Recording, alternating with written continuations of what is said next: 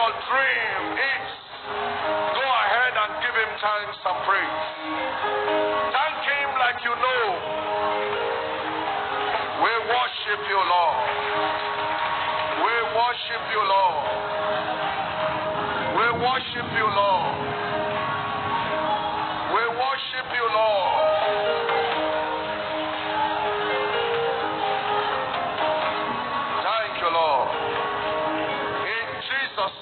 Merciful name. Now, the reason why it's a taboo, it's forbidden, not to give God thanks is because you don't have any other helper. No man can help you if God doesn't push you. No man, forget all those things. No man will remember you except God puts you in the heart of that man. So you are privileged when God puts you in somebody's heart. Ordinary 10,000, nobody will give you except God lays that you in that person's heart. So today, as you give God thanks, may your name appear in the helper's heart. Can I hear you say, My Father, thank you because you are my helper. Go ahead and give him thanks and praise. Lift your voices and thank him. My helper.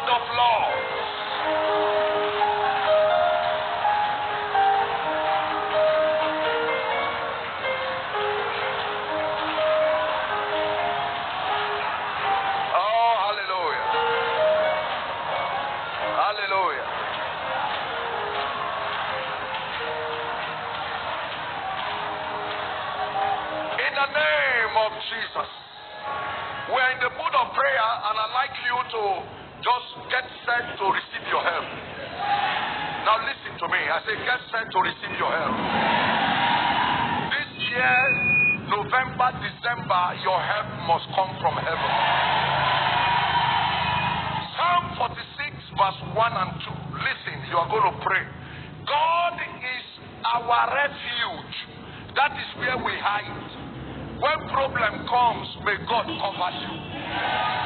God is our refuge and our strength, a very present help in trouble, the help that is instantaneous, the help that is the now help. The woman in the labor room needs a help. The person before gunpoint needs a help. The other person that is failing in business needs a help. Everyone needs different kinds of help. But God is the one that transforms himself to the help you need. Whatsoever is the help you desire, you go home with it today. Somebody say, My Father. Shout it louder. Say, My Father, you are my present help today. Now, now, now, now, you are my help. Give me that help, Lord. Let that help come to me. Let the help of God come to my life. Open your mouth and pray that prayer with all your heart. I receive the help of God. The help that is from God is first pure. The help that is from God never, never stops you halfway. The help that is from God. Have your way, Lord. The present help, ever present, never coming late. In Jesus' merciful name. Lift your two hands to heaven and let me summarize that prayer in your life that at the point of your need, may that help show forth. At the point of our need, no matter what, no matter, no matter how bad the circumstance, the condition may be, may the help of God show forth in your life. I pray for somebody here. In the day of trouble, may the Lord help you. Can I hear you say, My Father? Pray like you understand. Say, My Father. Send your help from your sanctuary into my life, into my family, into our church. Send your help, Lord. Pray that prayer with all your heart. Let help come from heaven. Let help come from your sanctuary. Send your help, Lord. Send help to me. Send help to every member of this church. Jehovah God. Manda balaba. Yeke takata. Amprata shelado. Sekodo. Hey, Baba.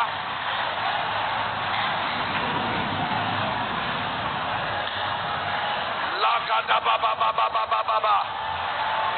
Send help, Lord. Let help come, come, Lord. Take us away from our lockdown. Take me away from my prison. Ah, Yaga Babadaya. Thank you, Father. Thank you, Father. So shall it be. In Jesus' merciful name. Sit down. Sit down with a clap to Jesus, our helper. Are you clapping for our helper? Clap your hands for the helper.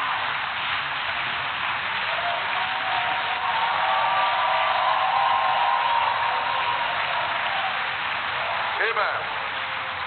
Now listen, you see, I came to discover that when you don't understand what you need, you may not get it from God. When you don't understand what you need, you begin to ask for several things that are not important. What you need right now is the help of God. The help of God. And I want you to write down some few things I'm going to be saying. Because in the next 20 years, if Christ tarries, they will still be relevant to your life. Number one, where you are now is how much you have been helped. Where you are now, your present level is how much help you have had so far. Because if somebody had helped you more than this, you would have been better than this. Every man is a picture of how much help is present in his life. It doesn't take magic to back away from that compound. It only takes help. It's help. If you don't get the help, you will be there, even if you don't like it. Nobody changes circumstance because of offense or annoyance. I don't like it. You quarrel with everybody in the compound, you come back until help comes. So today, I pray for somebody here that God Almighty will help you. Now, you see, my prayer is not conventional. I'm praying a prayer that is very direct and specific. That today, everyone hearing the sound of my voice, God will bring help to your life.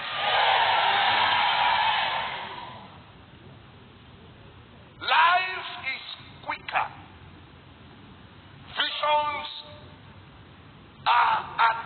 people, dreams come to pass when you have help. When you have help.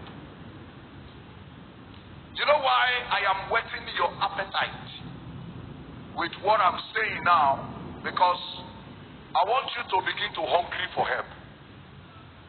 Blessed are those who are hunger and thirsty for righteousness, for favor, for help, for financial help, for whatsoever, for they shall be filled. So it takes hunger for God to respond. But when you don't know you're hungry, you'll be judging people. Uh, this will not help me. This one you go London, he not help any of us. This this one not help me. This one you not become manager, he not help any of us. My junior brother not help me. So your heart is full of bitterness instead of your heart to be full of expectation from God. Uh, that person not great help me. Those those things don't make you go forward. What makes you go forward is to know the truth about God's word that only God can help you. Only God. Even your husband cannot help you. Only God can help you. God wants to help you. He puts the resources in your husband's hand and puts your name in the resources. Only God. No matter how you hold and cry, He can't help you. When Rachel held Jacob and said, Give me a child, give me a child. Jacob said, Am I God that can give child?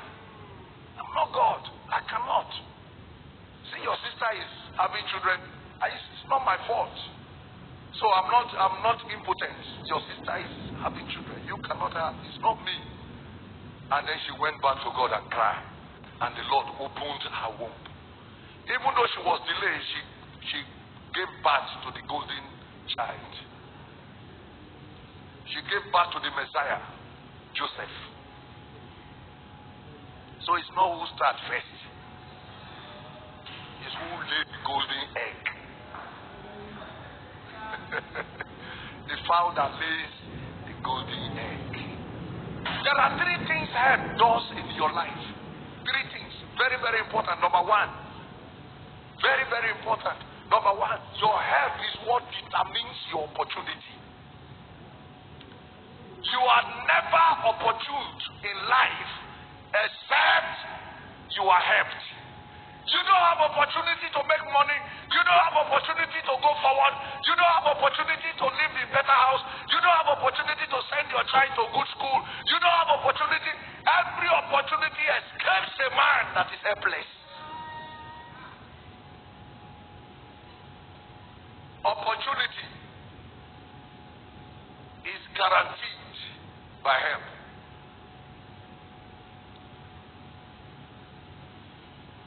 Father, I pray for everyone hearing me right now. May you have chains of opportunities in your life. What brings opportunity? Uh, of course, you see, let me say this, let me say it more emphatically that opportunities are everywhere, and several times we see opportunities, but we can't take them. Sometimes you even see opportunity. You see advert, a school that is good, you see a job, you see potential. You see somebody, American, uh, this, anyway, um, Canadian, something. You see that. You see a lot of advance. But you cannot access it because you can't take that opportunity as nobody to help you. There are good players, suckers. We see people in the street, young boys who play well, but they don't have somebody to help them. They don't have people to help them. You think there are no people better than Kanu Wankwo, those days, J.J. Okocha, the present day Ndidi that plays for Leicester City. You think we don't have people who can play soccer in the streets of Ajegunle and Lagos? But they rot away with their talents because there are no helpers. Nobody to help them. And some of our children, except they find help, on, listen, you, it's time for you to wake up to know that what you need now is help. It's help. Number two, help is what brings respect to your life. You can't you respect me? Do you know me? Forget. If you are not helped, nobody respects you. Nobody, you are not entitled to be respected because you don't have help. It is your help that makes you better than the other person. It's your help. You know why I'm showing you this? I want to prepare you so that you can cry for that help. And God will give you. You say, but I've been a Christian for 30 years. It doesn't matter. Now, the day you know the truth, that day God will respond. So forget yesterday. The day you know the truth, you are free. And that is why what brings the truth? The word of God. Thy word is truth and life. Thy word. You see? On Wednesday, this place is supposed to be filled up. 45 minutes service. Hear the word of God. Hear it. Masticate it. Absorb it. Let it enter into your system and pray with all your heart. 45 minutes. And then with 15 minutes we dance and worship God and then we go home. And then in the night an angel appears to you and say, My daughter, go to Broad Street tomorrow. I have sent somebody to help you. That's why it happens. You just take your name and put it in somebody's heart. And the Bible said that night the king could not sleep. Why? Because Mordecai has to be helped. You can't help yourself, sir. You can't help yourself. No, if you like verse now, I don't verse. If you verse what you want to. Nobody did verse prosper. You can't help yourself. God must help you. Lift your right hand. I decree by the mercy of God, this November, December, may your help come down Hear the word of God. I say your help is coming down. Whosoever has mocked at you and despised you and said this one, oh, don't finish, Nala. God will put that shame back to them. Your help is, has come. No, no, you didn't answer. I said your help has come. So, number three, your help is what brings your progress. Your help is what brings your progress. Going forward is progress. From there to there to the other, you are moving. It's because God helped you. It's because God helped you.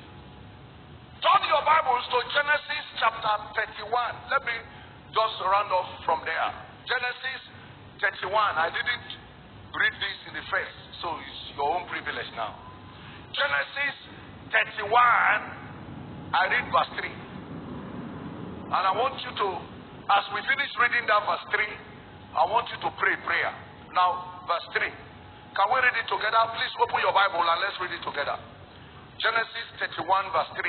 We are going to read it on top of our voices. Oh, yeah, it's on the screen. One, to go. And the Lord said unto Jacob, Return unto the land of thy fathers and to thy kindred, and I will be with thee there. I will be with thee. I will be with thee. Return. God spoke to Jacob. God, everybody say that. Say, God spoke to Jacob to return to the land of his father. God, say it again. God spoke to Jacob. Do you know that God speaking to you to start that business is not a guarantee? that there will be a problem or there will be no problem. It's not a guarantee. God has spoken to some people, they still failed.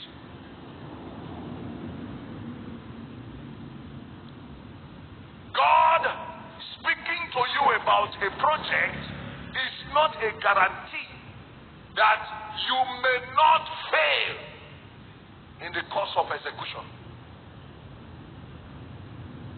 You can still fail.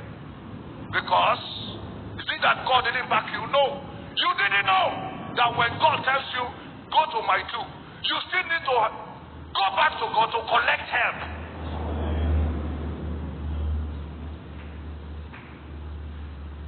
That God showed you that man is your husband. Does it automatically make it a successful marriage? You still need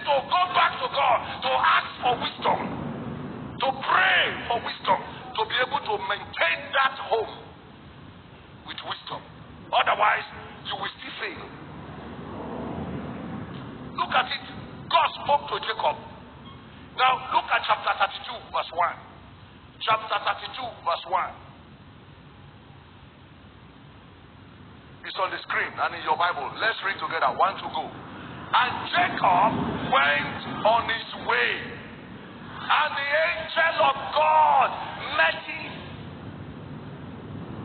Okay, let's look at verse 2. Give us verse 2. And when Jacob saw them, he said, This is God's host, and he called the name of the place Mahanaim. Verse 3. Verse 3. And Jacob sent messages before him to Esau. You see, you know why I read up to verse 3? I wanted to show you that the, the Bible did not tell us what the angel of God told Jacob. The angel met him. The Bible stopped there. The next thing Jacob did was to send message. How did he know Esau was coming? Esau was coming with 400 soldiers to kill Jacob, kill his two wives, and finish his 11 children. Then all of them. That was what was going to happen. But God told him to go. But danger was on the way. God told him to go. Danger was on the way. The angel of God came to help him. Listen, help is not only money, help can also be information.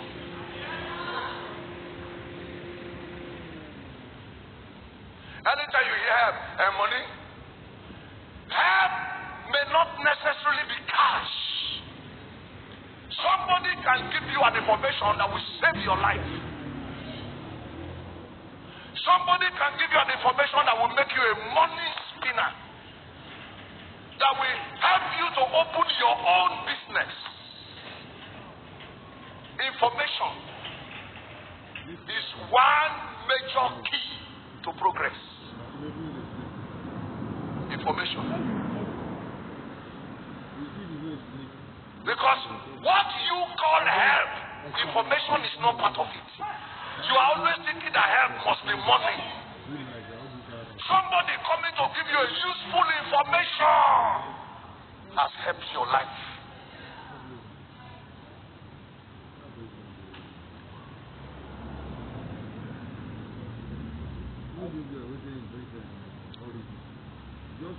And the angel of the Lord. Oh God. May God send his angels to your life. If you don't have life, where is the money? I want you to cry for help. I want you to say, Father, you are my helper. You know what is the sweet God? When you tell God, when you boast on God, Father, you are my helper. You are my helper. I have no other help beside you, Lord. Father, my heart is open for your help. Oh God of heaven, send help from your sanctuary. Psalm 20, verse 2. Psalm 20, verse 2. Open it to your Bible. Psalm 20. He says, Send the Lord will send thee help from the sanctuary, and he will strengthen thee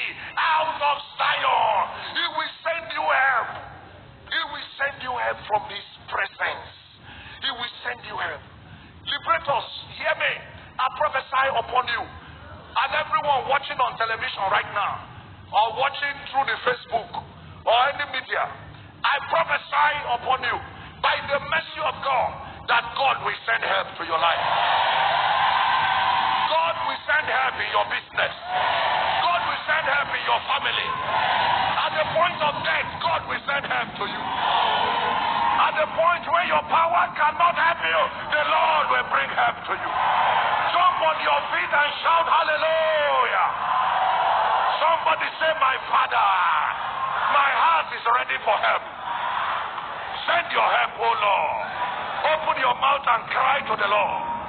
Let the help of God come.